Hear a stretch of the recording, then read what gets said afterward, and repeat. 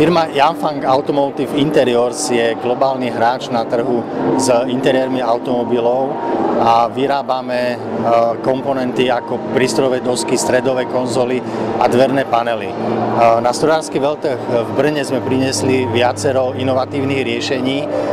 v ktorých demonstrujeme naše kompetencie pri používaní materiálov, špeciálnych technológií a iných riešení na zniženie hmotnosti komponentov. Takisto jedným z cieľom je sa zviditeľniť na československom trhu a určite chceme túto príležitosť využiť aj na to, aby sme mohli motivovať našich nových zamestnancov z radou študentov alebo aj iných, ktorí sa môžu uchádzať u nás o zamestnanie, nakoľko sme spoločnosť s veľkým rastom a momentálne hľadáme zamestnancov pre všetky lokácie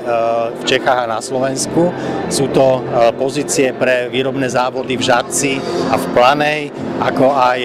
v inžinierskom centre v Trenčíne alebo v technickom centre v Bratislave alebo vo výrobnom závode v Námestove alebo v Pape v Maďarsku.